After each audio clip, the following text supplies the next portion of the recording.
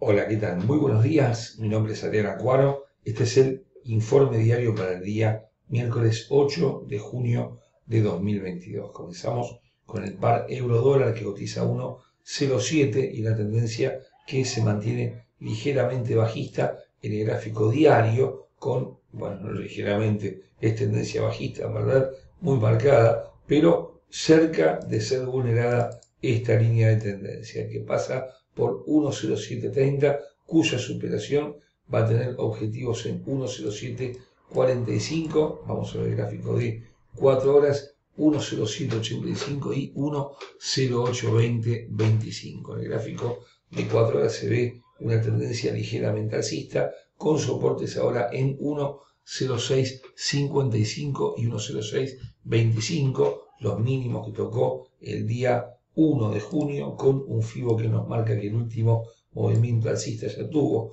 un 38.2% y un 50% aparece mucho más lejos en la zona de 1.0565. En cuanto a los indicadores apuntan con dirección mixta, momento a la baja, los propios RSI, pero el estocástico parece darle algo de fuerza al euro de cara a las próximas horas. En cuanto a la libra esterlina, cotiza 1 25.88 ante el dólar y la tendencia alcista, el gráfico de 4 horas en un contexto lateral de este, estos últimos días, con objetivos en 1.26.10, luego 1.26.60 y 1.27.05. A la baja 1.25.60 y 1.25 con una línea de tendencia bajista que marca este movimiento en esa dirección en el gráfico diario y cuyo punto de superación aparece en 1 2660. Volviendo al gráfico de 4 horas, los indicadores apuntan en todos los casos en dirección alcista para este día miércoles, anticipando una ganancia adicional de la libra a la que obtuvo el día martes. En cuanto al dólar yen, cuando no, eh, al alza 132.76, no deja nunca de caer el yen y mucho menos en estos días y todo indica que ahora va a superar la zona de 133, nivel que tocó momentáneamente el día martes a primera hora para buscar luego 133.40 y 133.80. A la baja 132.20, 131.65 y 131.20. En el medio aparece esta línea de tendencia que pasa ahora mismo por 131.70, pero muy lejos del nivel actual.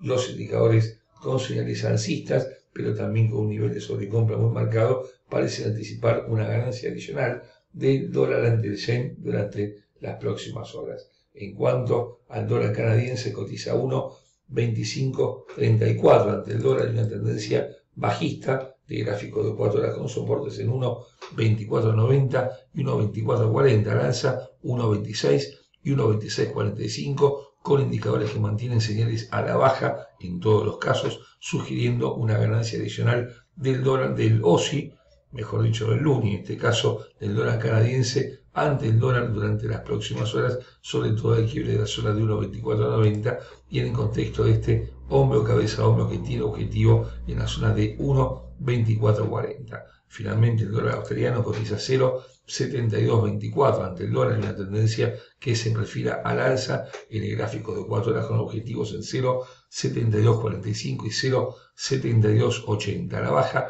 0.7155 y 0.7110. Los indicadores apuntan en dirección alcista en todos los casos, sugiriendo una ganancia adicional de la moneda australiana. Esta vez sigue el OSI, pero la superación de 0.7280 podría ser lo que necesita la moneda australiana para crecer en muy buena forma durante las próximas horas. Señores, esta voz no da para más, ya se nota y son muchos los videos. Tengan todos una excelente jornada de operaciones. Nos vemos mañana jueves.